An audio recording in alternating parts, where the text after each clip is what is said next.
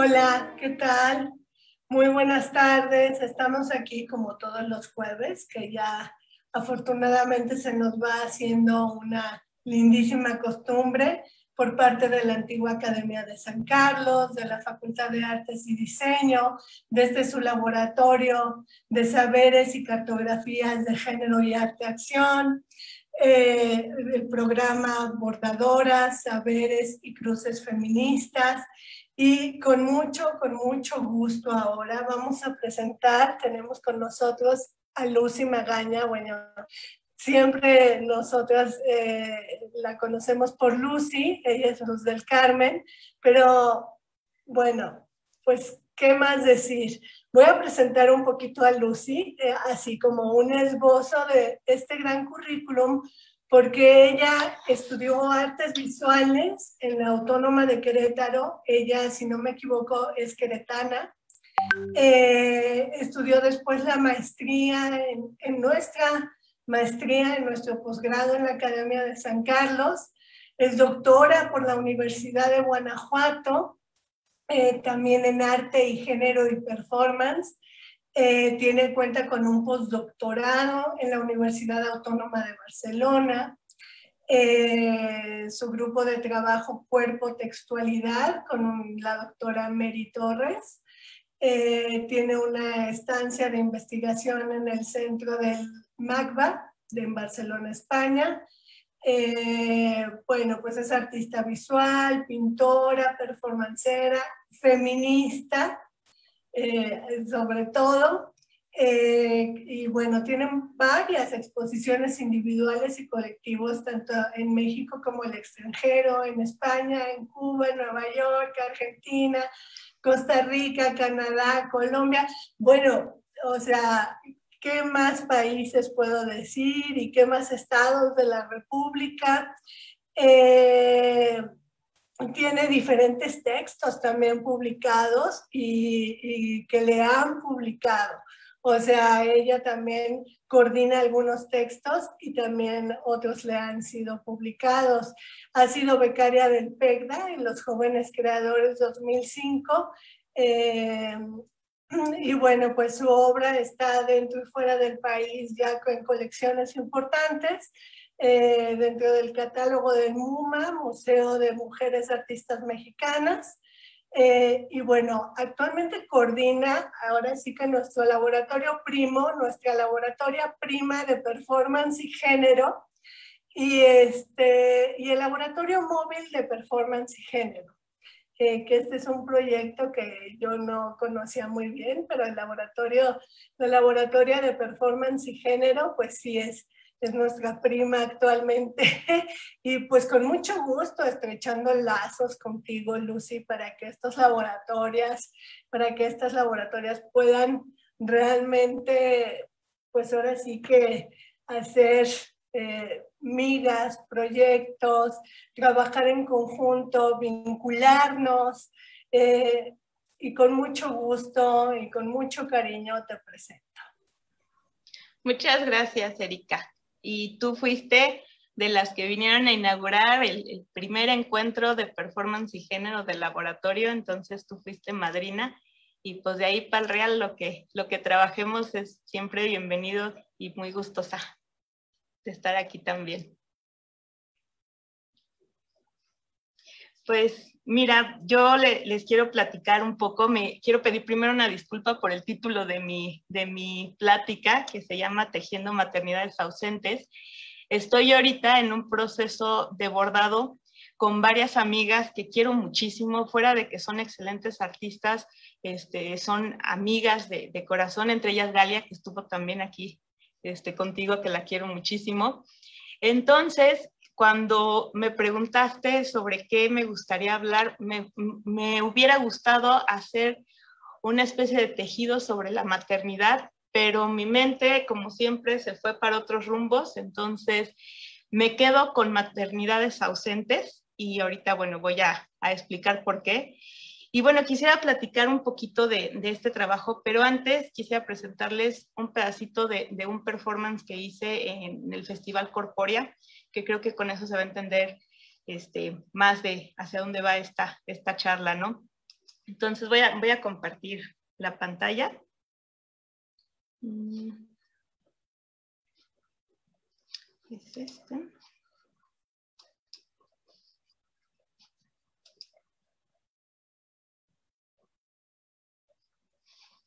Sí se ve, ¿verdad?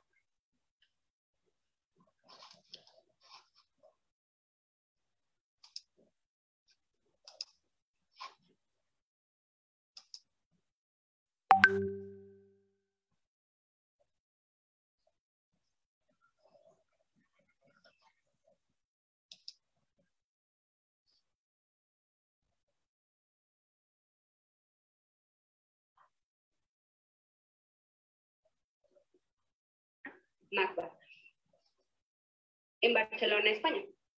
Voy a adelantarle un poquito.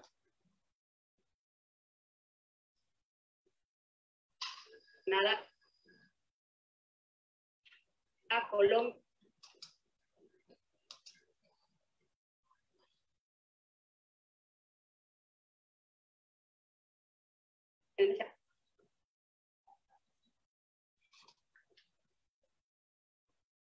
Bueno, lo, lo, lo voy a pausar mientras se, se carga.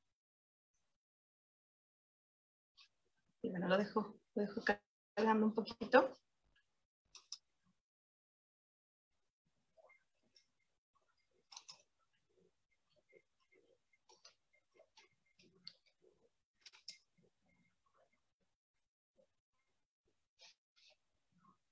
Y voy a empezar mejor con la con la plática y si quieres, Erika, te puedo pasar el link de, de aquí por, por Zoom y si lo pones desde el minuto 2 cuando, cuando se pueda, pues perfecto. Creo que está un poquito lento. Entonces, voy a, a compartir pantalla.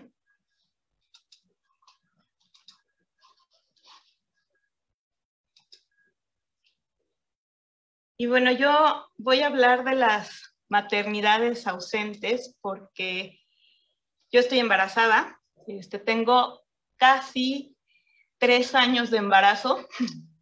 Entonces, a partir de esos tres años de embarazo, pues he estado, he estado pensando y he estado pensando cómo puedo llevar este largo tiempo de embarazo hacia las cuestiones artísticas y feministas. Entonces, pues, bueno, este, ahí he hecho algunos ejercicios. Este, creo que la, la, primera foto que tenía que poner es la de mi mamá, ¿no? que, que aparte es, es, muy bonita y sí, quiero, quiero presumirla. Entonces, hablando de maternidades, pues yo lo primero que tengo en la mente, pues es la cara de mi mamá, ¿no? Que esta es la cara que yo recuerdo cuando, cuando estaba chiquita. Y también la estoy bordando. Me gustaría después este, poderles enseñar lo que estoy haciendo de bordado sobre justo esta, esta imagen, ¿no? Entonces, bueno, pues voy a, voy a comenzar este, con una lluvia de ideas que tengo aquí para que no se me vaya y bueno, empiezo con, con la maternidad. La maternidad es algo que creemos comprender las mujeres, tanto las que son como las que no somos madres. Y mientras más pasa el tiempo de mi embarazo, más me doy cuenta de que las maternidades en plural son tan diversas como diversas somos las personas, y digo personas y no mujeres porque también ahí hay diversidad, ¿no? Ahorita estaba platicando con Erika este, justo sobre el, que yo soy pro aborto y no está peleado ni siquiera mi feminismo ni, ni ser pro aborto con, con mi embarazo de tres años y con mi futura maternidad. Esperemos que, que pronto llegue y llegará cuando, cuando sea el momento, ¿no? Aún no sé cómo voy a hablar de las maternidades siempre desde mi, desde mi entendimiento y del ejemplo que he tenido con mi madre y con mi hermana, que, que es la, primera vez que he sentido yo esta, esta idea de ser madre, no siendo madre, que es, con mi sobrina y ahijada, ¿no? Que, que viene ahí también la palabra hija. Y bueno, y solo con ellas dos, ahorita, sin contar familiares y amigas, ya existe un mundo de diferencias en la crianza de los hijos por el propio pensamiento y vivencias de cada una de ellas. Así que el camino para empezar este texto es desde mi maternidad, ausente todavía, pero ya maternidad. Yo tengo aproximadamente dos años y diez meses embarazada y continúo. Eh, y continúo y continúo. Yo no tengo el día exacto de mi parto, ya, sé que no va a ser natural o por cesárea, en el que llegará mi bebé. Tampoco sé en qué semana estoy, pero estoy segura de que ya pasé las 40 semanas. Sé que me voy a ahorrar cualquier dolor y eso me da cierta tranquilidad maliciosa, pero todo lo que he escuchado tampoco cambiará mi cuerpo. Y el cambio que a esas otras maternidades que yo debería de tener a mis 41 dentro del cuerpo, pues no lo voy a tener, ¿no? El cambio que, que he tenido en mi cuerpo en realidad es por el paso del tiempo y no por el embarazo. Mi maternidad entra en el rango de esas otras maternidades de las que no se habla. Mm, maternidades de las que pocas personas hablan, pero que existen. Y a partir de ese largo, pero muy largo embarazo que he tenido, donde por supuesto no he sentido ni, mareos ni pataditas, pero tengo por las noches la misma angustia que hace que llegue el insomnio, donde me pregunto, ¿estará bien? ¿Llegará sano? ¿Seré buena madre? Lo dejaré olvidado en el carrito de la comercial mexicana después de que pague el mandado, que eso es algo que yo siempre traigo desde que estaba chiquita. Y bueno, tengo ese pensamiento porque en algún momento dejé a mi hermana en la comercial mexicana y se me olvidó, yo le gano con ocho años, ¿no? Entonces es algo que siempre traigo temor hacia, hacia olvidar a, a un hijo en la comercial. Y sobre todo, llegaremos a tener esa conexión idílica que he visto tantas veces en películas donde, donde enaltecen la sublime maternidad. Esta es una pregunta que mis amigas, también madres, se han hecho, pero que no lo dicen. Mis dudas son completamente normales, me ha dicho mi psicóloga, y en realidad son las dudas de, toda madre primeriza, solamente que yo he tenido mucho más tiempo que los nueve meses de cajón que dura el embarazo normal, entre comillas. Hace casi tres, años decidí ser madre por medio de la adopción y hasta el día de hoy sigo pensando que es la mejor decisión que he tomado. Y ahora que he llegado a los 40, lo reitero. Siempre he tenido claro desde siempre que quiero ser artista y madre, sin ningún orden ni jerarquía. A veces me levanto con más ganas de ser artista y a veces con más ganas de ser madre. Mm. Pero siempre he convivido con esos dos sentimientos en mí de una manera amena y sin complicaciones. Como dos amigos que ahí están, sin protagonismos ni luchas, y después de empezar a planearlo de una manera más directa en mi consciente, decidí a los 32 años, a mitad del doctorado, que era el momento de tomar esta decisión. Mis ovarios poliquísticos no me permitieron que fuera de la manera en que todos conocemos, la manera normal, entre comillas, y a mí que no me gusta estresarme, después de unos siete ginecólogos, cuatro sobadores, tres chamanes y otros tantos remedios de tías, decidí que mi hijo venía por otro lado y mi tarea de madre era, empezar a buscarlo.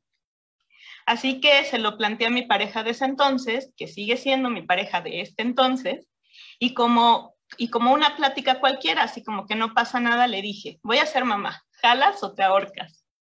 Al principio creo que él, creyó que, que se le chispoteó algún tiro, ¿no? Y lo vi en su cara, pero le dije que no se preocupara, que no estaba embarazada, pero que iba a ser mamá y que lo sabía. Y que ahorita, justo en ese momento, era el momento. Que yo entendía que no fuera ese su proyecto de vida y una disculpa por conocernos a los 32 años, pero que es algo que yo traía desde siempre y ese instinto del que se habla tanto hacia las madres, yo lo traía de una manera rara, pero lo traía. Y que entendía si él decidía no tener ese deseo conmigo. Se quedó, creo, al principio, este, más bien se quedó conmigo, no creo que, que lo haya tomado al principio muy en serio, y después creo que el amor nos agarró en el camino y todo se fue fluyendo. Y para no hacerla larga, después de algunos años de médicos y brujos, nos acercamos al DIF. Vicente y yo no estamos casados, ni pensamos estarlo. Tenemos casi nueve años de relación y siendo una mujer libre y feminista, tengo que reconocer que, él ha sido un padre comprometido. Un padre ausente, pero un padre comprometido. Ha sido ausente, lo digo, porque no nos han dado al, niño, ¿no? Para que no se, se malinterpreta. Ha sido un largo camino para la institución, y como no estamos casados ni quisimos certificar el amaciato, yo voy ahorita en el DIF como mamá soltera. Pero desde el primer día que nos levantamos a las 4 de la mañana para formarnos en nuestras, para sacar nuestra ficha, hasta los recesos del taller para padres, porque no le permitieron entrar al taller, pero él estaba siempre en el receso con los compañeros y conmigo, ha estado como mi compañero al lado mío y creo es importante reconocer la responsabilidad de los padres cuando se involucran de esta manera, como es importante denunciar a los padres que siempre han sido ausentes. Estos casi tres años, que me han, estos casi tres años de embarazo me han permitido dialogar, pensar, cuestionar y crear sobre la maternidad, sobre todo crear sobre la maternidad, o mejor dicho, sobre las maternidades y es por eso que también esta plática, para que me da, es por eso también esta plática, porque me he dado cuenta de toda la obra artística que se ha creado en relación con este tema, pero también todos los tabús y los prejuicios hacia las mujeres que son madres y artistas y en sí profesionistas. Conocí un grupo de mujeres, madres y creadoras en un taller que llegué por casualidad en la pandemia y con quienes a partir del arte como la pintura, la fotografía y el bordado, hemos creado lazos profesionales, teóricos, artísticos y madrecísticos, es una palabra que, nos gusta. Y este curso lo tomé de agosto a septiembre del 2020 con artistas chilenas, impartido por Alejandra Ugarte, y se llama Arte, Feminismo y Maternidad. Este taller y estas mujeres cambiaron y ampliaron toda mi perspectiva sobre la maternidad dentro del arte y dentro del feminismo. Siento que muchas veces nos han dicho, y lo creemos, que la maternidad tiene que estar peleada con el feminismo, ¿no? que era lo que estábamos hablando ahorita, y también tiene que estar peleado con el arte. Y olvidamos que artistas como Mónica Mayer y Maris Bustamante, entre muchas otras, así como las artistas de la Woman House en los 70 y 80, ya estaban hablando y creando sobre este tema. Así que decidí hacer una investigación muy propia y desde mi perspectiva, aún de madre ausente, de lo que significa la maternidad para muchas artistas. Bueno, aquí está mi mamá con, con nosotros tres, ¿no? Y bueno, pongo este título que se llama La maternidad, pero mi segundo título sería La maternidad, como, pregunta, aquí están mi hermana y mi sobrina. Comienzo cuestionándome qué es la maternidad y encuentro diferentes definiciones con algunas concuerdo y con otras no tanto. Por ejemplo, la más básica dice que es la experiencia de vida que tiene una mujer al momento de que se convierte en madre. Es decir, maternidad no es solo el hecho de que biológicamente ocurre el proceso de reproducción, dar a luz, sino que representa la generación de un nuevo ser humano para lo que es necesaria la integración de otras dos dimensiones. En este sentido, la maternidad, si bien no es universal, ya que no todas las mujeres llegan a ser madres en el mundo por una decisión personal, también representa un instinto que se presenta en la mayoría de las mujeres, no en todas, quienes identifican a sí mismas con la figura de la madre. Y aquí me cuestiono cómo se hace y desde dónde viene esta identificación. Y recuerdo que desde la Edad Media hasta casi el modernismo, la mujer era educada, entre comillas, desde una visión patriarcal. y eso lo, tengo aquí en unas imágenes. Ahorita me regreso a esta. Desde una visión patriarcal, y bueno, las cuales eran la mujer virgen, a la que no se le podía acceder nunca por ser inmaculada e inexplorada por varón, la mujer madre, que era la que más se acercaba a esa idílica figura de la virgen, pero que solo se alcanzaba al parir la mujer puta, la cual se dividía en dos, la libertina y depravada como Salomé, y la arrepentida como María Magdalena. Pues ella había purgado ya sus pecados al enjuagar los pies de su Señor, entre comillas, y bueno, este es el estereotipo de del arrepentimiento. Y la mujer bruja, la que era quemada en la hoguera por querer igualarse al hombre en sabiduría. Dicho instinto maternal se presenta no solo en el ser humano, sino también en los mamíferos que viven el mismo proceso de reproducción que los, que los humanos, y esto es gracias a la influencia de la cultura y del entorno. Es por la propia naturaleza en la que la manera en que se dan estos hechos hace que suceda. Se nos ha dicho culturalmente que la mujer está completa al convertirse en madre, y aunque biológicamente puede ser real, puede ser real, el que se decida no serlo no te hace menos mujer. Y creo que esto también lo venimos cargando como una traba y por esta razón muchas veces hay no maternidades dentro de la maternidad. Es muy subjetivo este instinto del que se habla, el instinto de ser madre, que muchas veces vi a través del sacrificio de películas de Libertad Lamarque y Silvia, y Silvia Derbez. Ese instinto que te hace llorar por las noches, porque aunque tus hijos sean unos cabrones, tú estarás ahí siempre para ellos, pase lo que pase. Ese nunca fue mi instinto, ese nunca fue mi instinto y la verdad me enojaba mucho que no hubiera un referente para el instinto que yo tenía, que no sabía cuál era, pero que no era este, ¿no? Y que se acercara más al mío.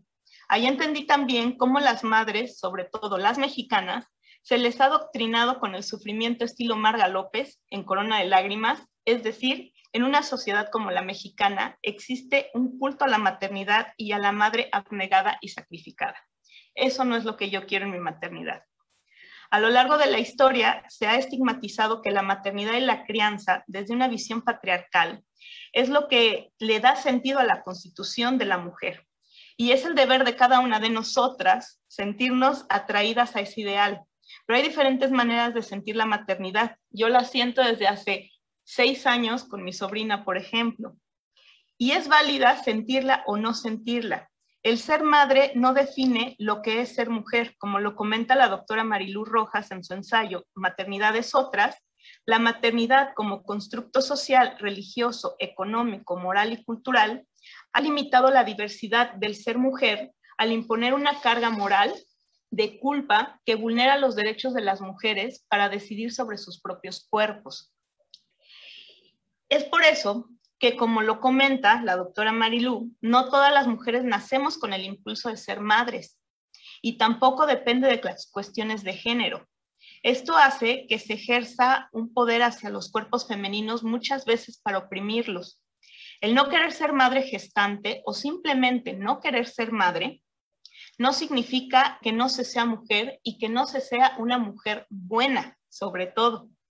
La maternidad es una elección, Rojas señala otras formas de maternal, de maternar, como lo son la maternidad lésbica, la maternidad homosexual, las tías, las abuelas, las madrinas, la maternidad subrogada, el vientre de alquiler, las madres solteras, las madres adoptivas, las madres de, de, crianza, las monjas.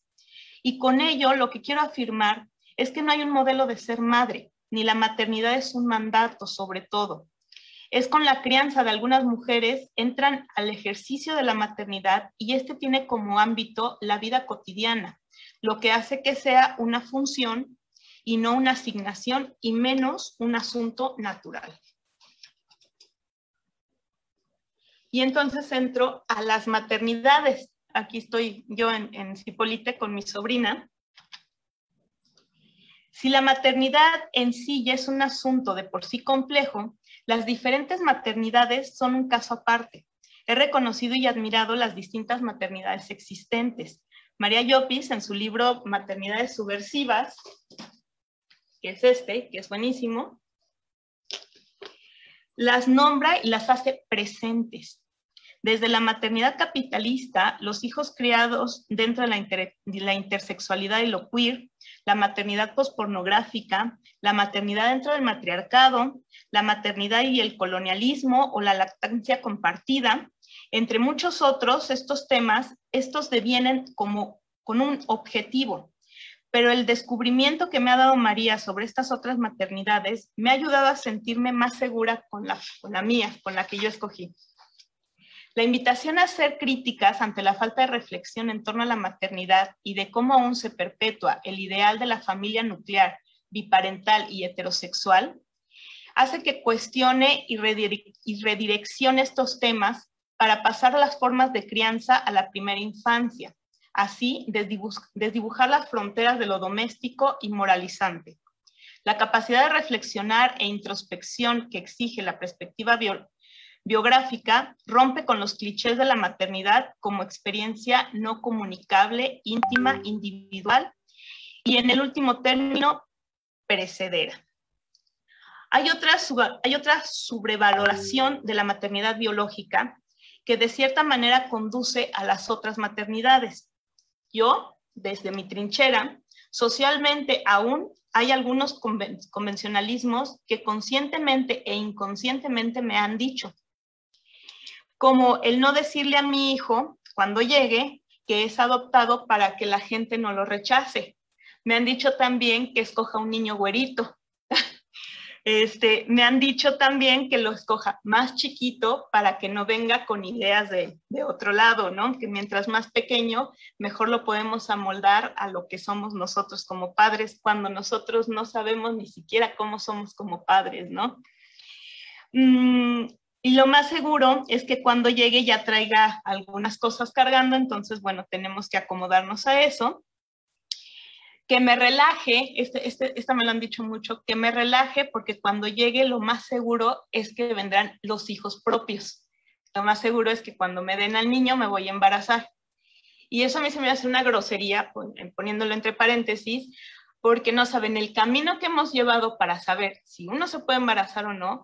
Y la palabra propios, hijos propios, le quita lo propio a mi hijo que va a llegar, ¿no? Entonces, para mí es, es, algo como, como grosero hacia, mi hijo este, que, que viene, ¿no? Mm, en algún momento se me hizo, se me hizo un comentario este, que hizo que el estómago se me retorciera, porque me dijeron que yo no iba a ser tan madre como las madres que tienen el hijo en el vientre, porque como no viene de mí, como no voy a sentir las pataditas y no me van a cortar el cordón umbilical, entonces voy a ser mucho menos madre que las otras madres, ¿no? Y aquí en, mi texto, para que no se me vayan todas mis ideas, puse muchísimos signos de interrogación. En este sentido, yo siento que el instinto de ser madre es un concepto biológico que va más allá de llevar al crío en el cuerpo ser madre adoptiva requiere de habilidades y fortalezas, y fortalezas que deben de ser tenidas en cuenta, ya que la situación de vincular con el hijo adoptado requiere superar situaciones y en ocasiones comentarios extremos como estos. La maternidad adoptiva sí, sí, es, sí es diferente a la biológica, pero no desde una visión social. Es desde lo corporal claro, porque muchas veces la mujer debe enfrentarse con la esterilidad o la infertilidad aunque existimos madres adoptantes que también lo hacemos por decisión, muchos médicos me juraron curarme, entre comillas, con tratamientos hormonales y operaciones. Desde lo mental también empieza a haber un problema y bueno, esto lo lleva también Esther Vivas en, su libro, que es este, que también se los, se los recomiendo mucho, que se llama Mamá desobediente y nace una mirada feminista a la maternidad. He encontrado una mirada feminista a la maternidad, dice, y ella demanda la maternidad este, disidente, libre y desobediente al sistema. Una experiencia libremente elegida sin violencia y de abuso. Y abuso, perdón. La maternidad tiene que reivindicarse desde el feminismo, los feminismos, afirma que las feministas de ahora están más abiertas a ver la maternidad sin tantos prejuicios y a reflexionar sobre ella y sus derechos. Sin embargo, hace falta incorporar la maternidad a su agenda política. Esther Vivas lo, lo dice de esta manera. Pensamos que la maternidad es un hecho natural, pero en realidad es resultado de una construcción social y cultural. A las mujeres se nos ha impuesto un determinado ideal de buena madre de madre sacrificada y abnegada, donde la figura de la mujer desaparece, y eso es bien fuerte, donde la figura de la mujer desaparece, y hoy en día tenemos que ser la superwoman que llega a todo, que siempre está disponible para el mercado de trabajo y tiene un cuerpo perfecto, y este ideal de buena madre es un ideal que no representa la experiencia materna real. El derecho al aborto es imprescindible, porque es un derecho fundamental para tener acceso a la maternidad libre y no se defina y no se defienda el derecho de ser madre si, si es así que lo decides. El derecho a tener una maternidad libre de violencia, una maternidad satisfactoria, un parto que sea respetado, una licencia de maternidad compatible con el pospacto y con la lactancia materna. En su artículo Hijas de Rigor, primero madre antes que mujeres, de la feminista y activista chilena Alejandra Ugarte o la señorita Ugarte, señala que como activista, dice ella, como activista me resulta imposible disociar el arte de lo político y lo social. Sobreviviendo décadas a un país racista, clasista, misógino, heteronormativo, homofóbico y machista, donde la maternidad hegemónica ha sido equivalente a cuidar, educar y proteger hasta que duela, y no estamos tan lejos nosotros de Chile, profundizando aún más la precariedad laboral de este contexto de pandemia como doble o a veces triple explotación, extendiendo las jornadas diarias de las madres mujeres para poder improvisadamente incorporarse a esta tendencia sentencia cibernética, generando elevados niveles de estrés debido a los cuidados 24/7 y al constante bombardeo de tareas. Por otra parte, se suma la desesperación de muchas mujeres madres monoparentales que llevan varios meses cesantes sintiéndose con más incertidumbre y frustración en relación con el futuro. Y bueno, después de todo este, como todo este camino, después de este extenso pero necesario testimonio sobre las maternidades, lejos de la maternidad normalizada que hago en este breve recorrido, subjetivo y de gusto propio, como lo dije al principio, de cómo las artistas han llevado su maternidad en sus creaciones, haciendo una reflexión sobre las imágenes y contextos artísticos en torno a esta maternidad y los nuevos discursos, este, hago como una, una apreciación de diferentes artistas que a mí me han llamado la atención dentro de la maternidad. Las obras a continuación expuestas muestran distintas maternidades y señalan cómo la maternidad no es solo un fenómeno biológico. La idea de maternidad ya no va unida en exclusiva a la familia heterosexual, este, este o no en contrato matrimonial. La visibilidad de otras formas de familia, madres solteras, heterosexuales con hijos, parejas gays o trans, con hijos adoptivos o propios, muestra que la sociedad poco a poco ha modificado en parte sus parámetros, pero la maternidad existe y existirá en sus distintas formas y cada artista lo replantea desde su contexto. Pero hay que hablar un poco desde el principio, donde la representación de la madre dentro de la cultura visual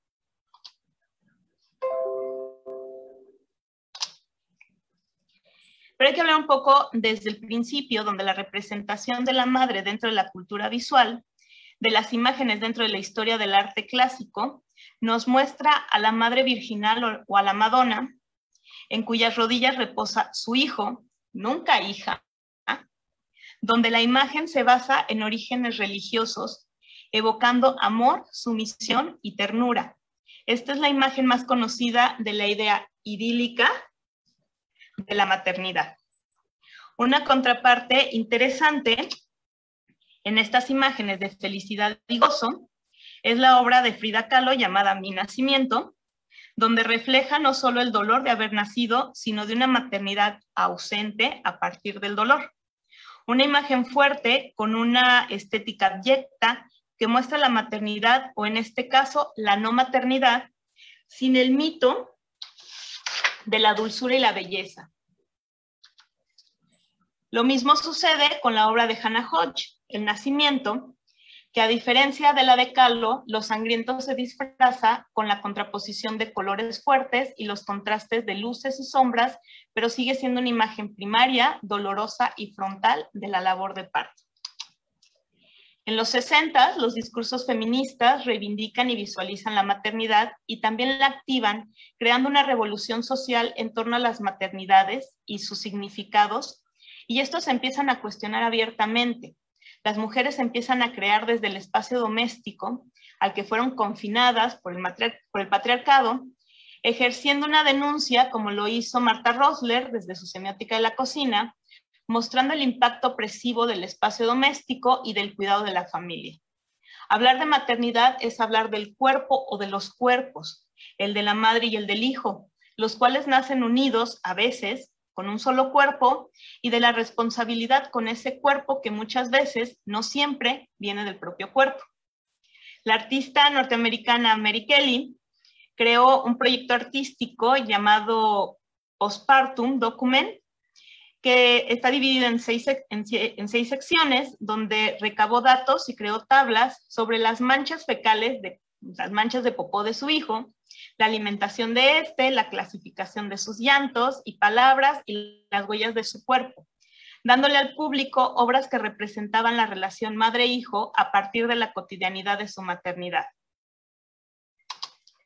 Otro ejemplo es la artista alemana Ulrich Rosenbach, donde se muestra un video atada a su propia hija para mostrar que la relación de afecto materno puede volverse sofocante. ¿no? A partir de muchas de estas obras he reiterado lo que no quiero como madre, ¿no? Entre esto y las películas de Marga López y Arturo de Córdoba. Y bueno, la artista Marta Rosler trató en esta obra el caso de Mary Beth, ¿no? Este, madre de alquiler que se negó a entregar a su hija, la pareja con la que había firmado un contrato.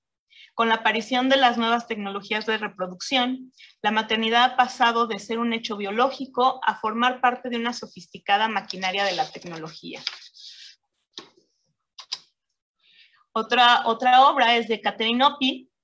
Ella se fotografía dando de, amamantar a su hijo, mientras en el pecho se pueden distinguir los, rastros, los restos de un tatuaje con la palabra perver, con la que trataron de demonizar los sectores más más retrógrados de su país por el hecho de ser una madre con ocultaba su condición de lesbiana. Catherine, que fue tachada de pervertida por los sectores más retrógrados de su país y años después este, se siguió fotografiando con su hijo mientras iba creciendo. Dentro de la Woman House una de las primeras exposiciones de arte feminista, en este, una de las primeras exposiciones de arte feminista en el 72, con Judy Chicago, Miriam Chaprino y más de una veintena de mujeres estadounidenses, en California, tras, de tras tirarla, este, donde invirtieron muchas artistas, este, diferentes obras, pues bueno, empezaron a crearse otros, otros trabajos, este, por ejemplo, este trabajo que se llama el closet de Sandy Orwell, ¿no? Y muchos artistas utilizaron esta casa como una potente metáfora tanto en la seguridad como en la trampa. Esta obra de, Sandy Orwell, eh, Linen Closet, mostraba un maniquí femenino desnudo que emergía de la pared de un armario de ropa blanca. La mujer, entre comillas, se fusionó literalmente con su hogar, la imagen es angustiosa, la única esperanza de su impulso hacia adelante para caminar directamente fuera de la pared, pero no se puede mover. La instalación de Orgel fue parte de esta exposición. Por su parte, mientras mira al vacío y se mece hacia adelante y hacia atrás, uh, Fat Wilding hace una, narración de, de, un performance que a mí me gusta mucho, que se llama Esperando, que si me permiten leérselos, aunque sea un poquitito.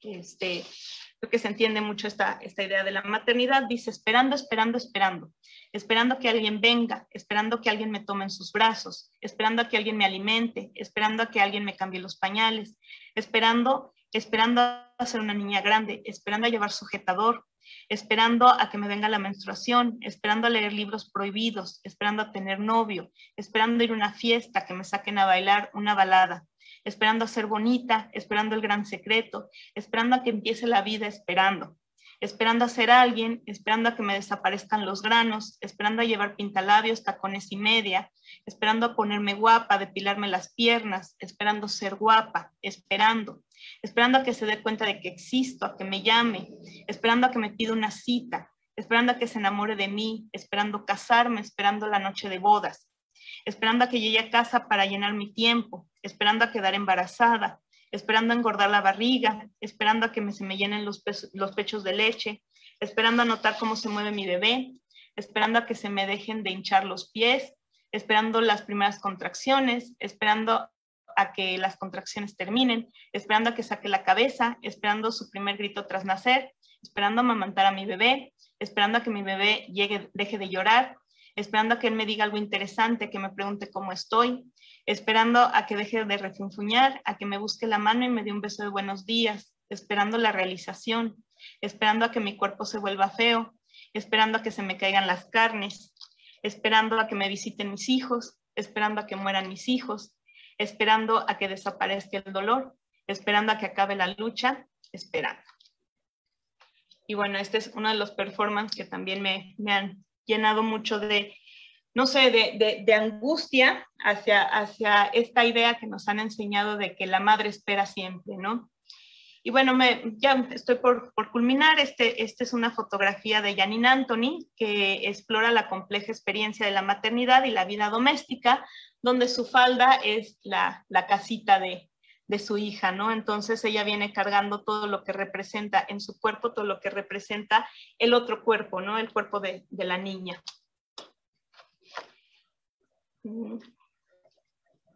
Este trabajo de René Digistra a mí me gusta mucho, es la, de la serie Nuevas Madres, donde muestra el miedo, el dolor, la angustia de ser, de ser madre, ¿no? Quita toda esta esta magia de, la maternidad y, muestra a unas niñas, ¿no? Porque son jovencitas de 16 años, vulnerables y muertas de miedo con, con lo que viene.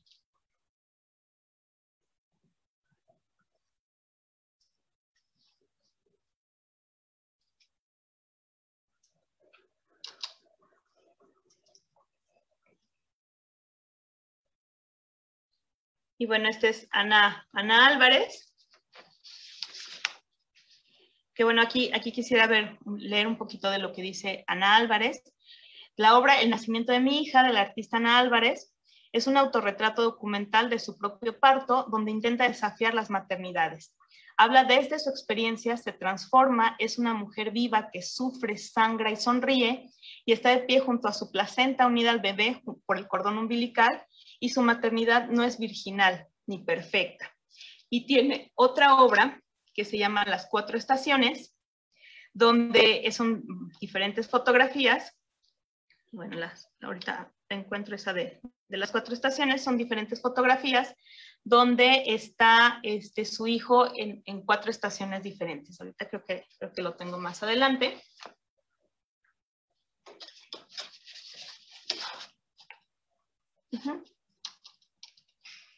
Y bueno, termino con esta, esta serie de, Ana Casas, que también es muy interesante porque muestra la, la cotidianidad y los complejos de cuando nace su, su hijo.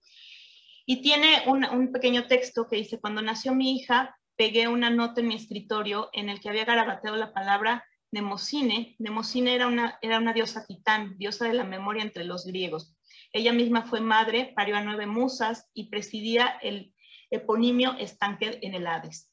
El estanque permitía recordar vidas pasadas a aquellos que bebían de sus aguas una vez que se reencarnaban. Como Nemocine era capaz de recordar todo, era también una divinidad menor de tiempo. Yo necesitaba su inspiración, pues en aquellos primeros días de la maternidad se me escapaba hasta el más sencillo recuerdo. Era como si me hubiese visitado el Hades y bebido el río lácteo cuyas aguas hacen olvidar el pasado y borran todo el conocimiento. Esta también es parte de, de esa serie.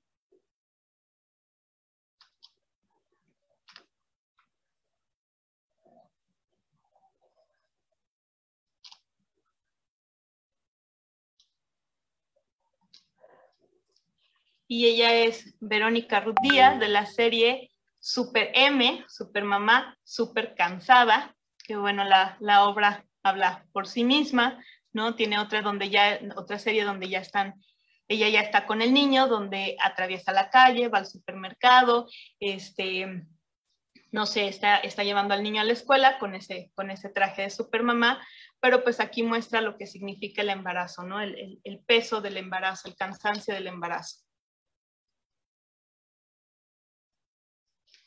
Y bueno, Natalia Igúñiz, de la serie Pequeñas Historias de, la Maternidad, esta se llama La Otra. Y bueno, muestra en, esta la otra maternidad que a veces olvidamos, ¿no? Que es la de las nanas, que es la de, las muchachas que ayudan al, cuidado de los niños, de las señoras que ayudan al cuidado de los niños, que en realidad son por mucho tiempo madres y no porque las mujeres sean malas, sino porque tenemos que trabajar o tienen que trabajar y están omitidas, ¿no? Entonces, en estas pequeñas historias de, maternidad muestra y reivindica y, visibiliza a esa otra madre, ¿no?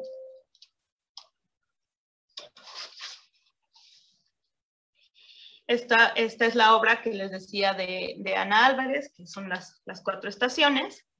Son cuatro obras, cuatro fotografías muy bonitas también.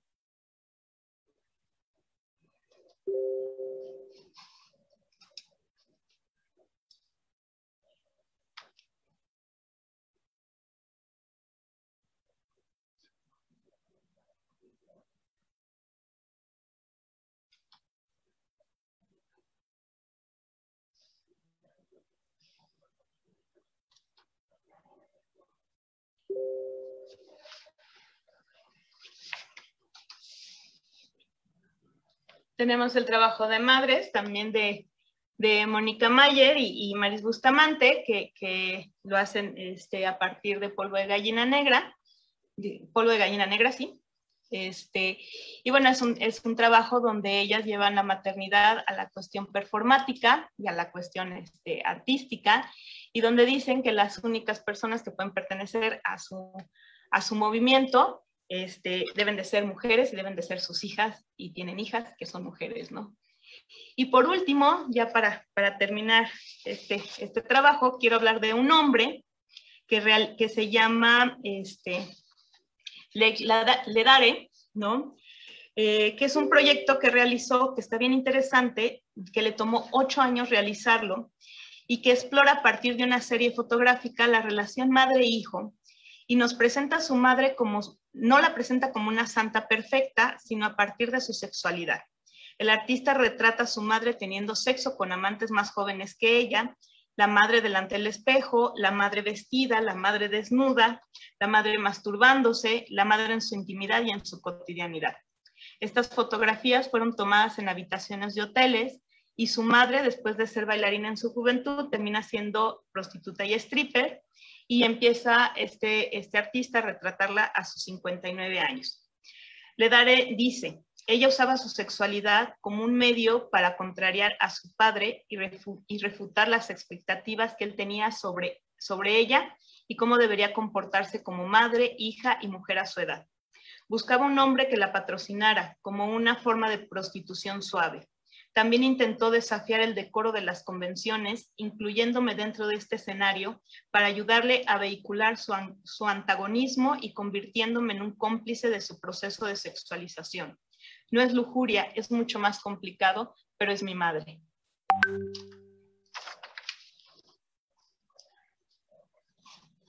Y termino. Muchas gracias. Y no sé si pudiéramos poner...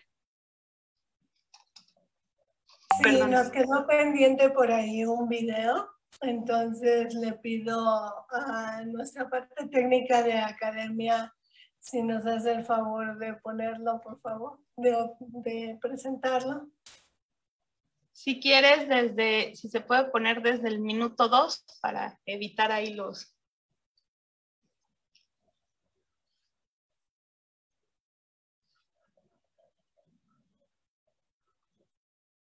y género en México, así como en el extranjero. Ha sido también becaria del PECDA, Jóvenes Creadores en el 2005, y su obra se encuentra en colecciones fuera, dentro y fuera del país. Está en el catálogo del Museo Mujeres, Mujeres Artistas Mexicanas, coordina el, el, Laboratorio de Performance y Género de la Universidad Autónoma de Querétaro y el Laboratorio Móvil de Performance y Género de la Facultad de Bellas Artes de la misma universidad. También es miembro del cuerpo académico Perspectivas Transversales de de la Facultad de Bellas Artes de la Universidad. Un poquitito más ahí.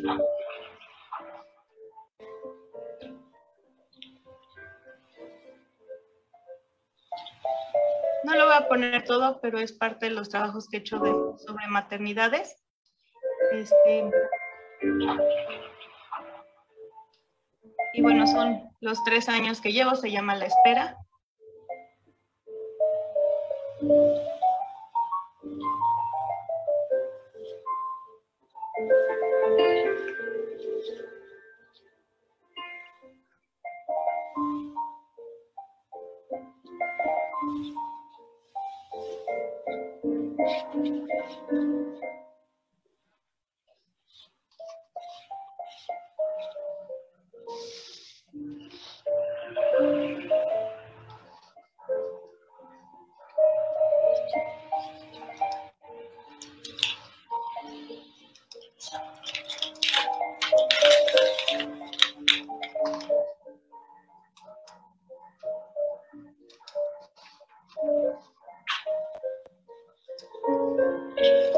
Música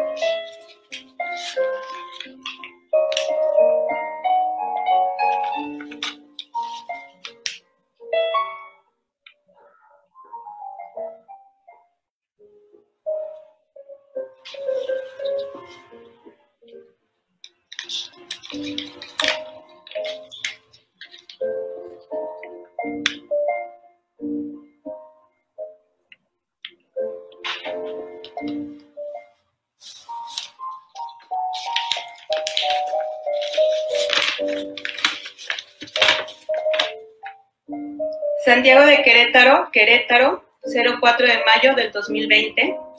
DIF estatal de Querétaro, procurador Oscar Hernández. Por medio de la presente carta, quiero comunicar al Sistema para el Desarrollo Integral de la Familia del Estado de Querétaro, a la Procuraduría de Protección para Niñas, Niños y Adolescentes y al DIF estatal de Querétaro, que mi certificado de idoneidad interno con el número 47-19 está a punto de caducar el día 7 de mayo del presente año y quiero reiterar mi intención de adoptar con ustedes y continuar con mi proceso de adopción y de renovar mi certificado por tercera ocasión. Sigo con la, intención de adoptar un niño o niña menor de tres años y si son hermanos que no pasen cinco años y uno de los hermanos sea menor de tres años no hay problema con alguna discapacidad física. Sigo teniendo la disposición de ser madre adoptiva con todo el gusto y la responsabilidad que esto conlleva. Sin más por el momento y quedo de ustedes, me despido. Doctora Luz del Carmen Maraña Villaseñor.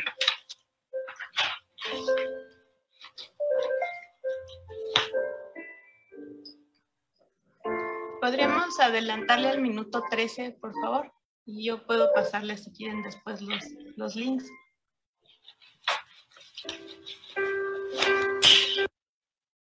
En su entorno familiar e institucional.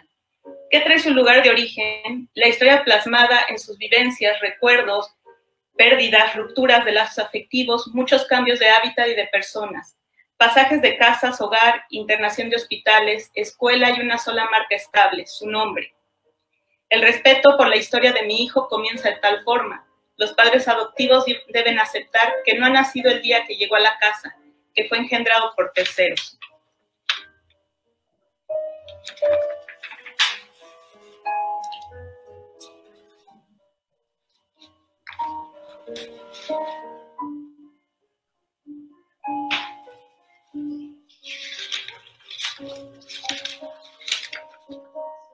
Características de la adopción.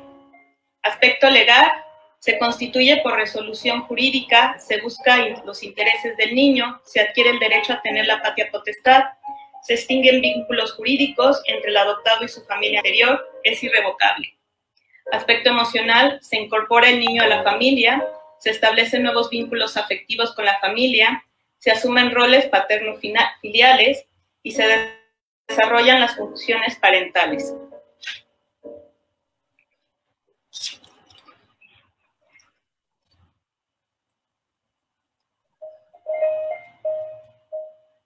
Beep.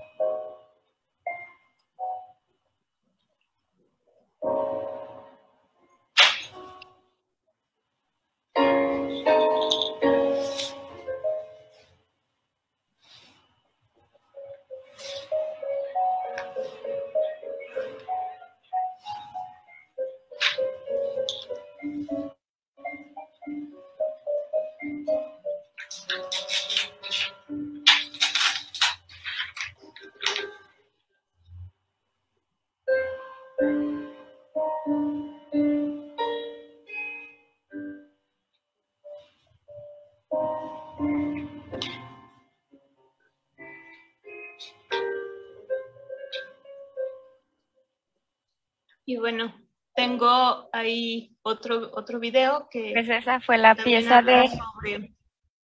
sobre las maternidades, este, pero si ya no, si ya no hay tiempo, si quieres ahí les, les dejo el link, este, sobre las madres que han perdido a sus hijos en México. Eh, sí tenemos tiempo para, para ver un, un, poco del video, si Academia nos hace el favor de, de ponérnoslos.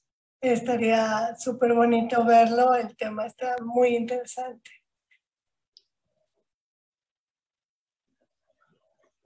También si quieren les digo dónde podemos adelantarle, echarle, echarnos todo el caminito.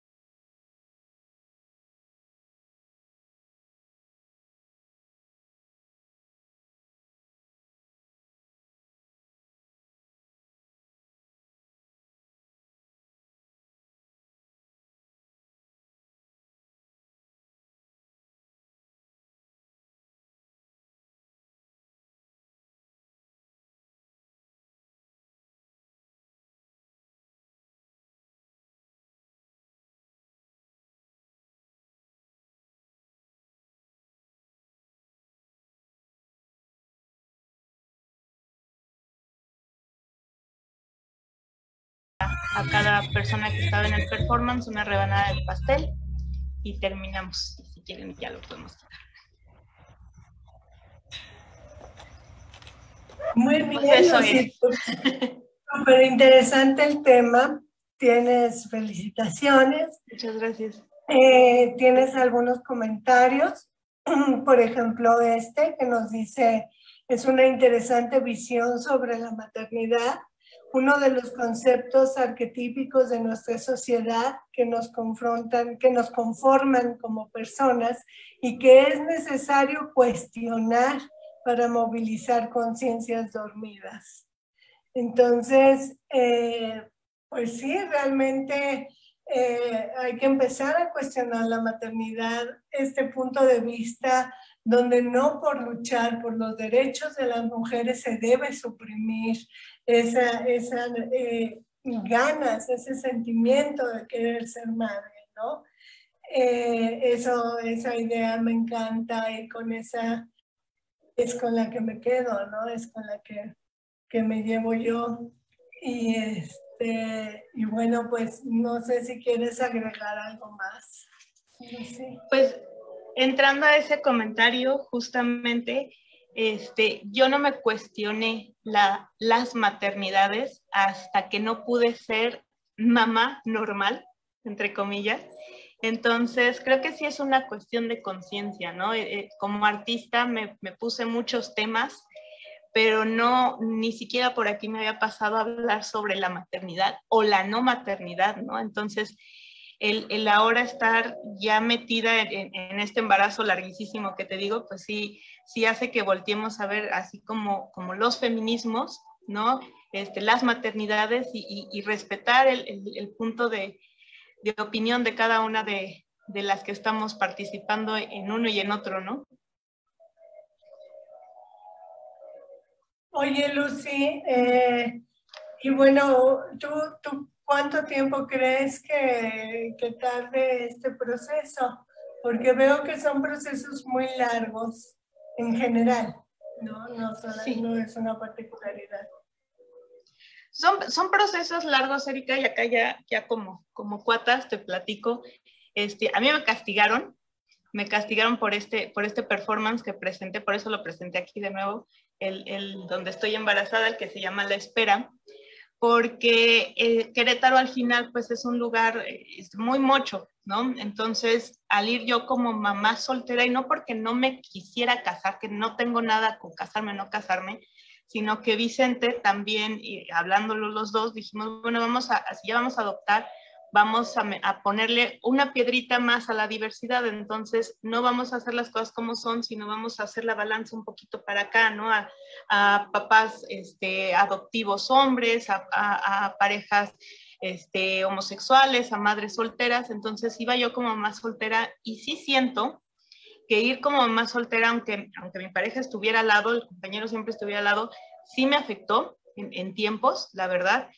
Y hubo muchas cosas que pasaron aquí en Querétaro que yo me fui enterando poco a poco, este, gente que, te salta, gente que se mete a la fila, cosas así.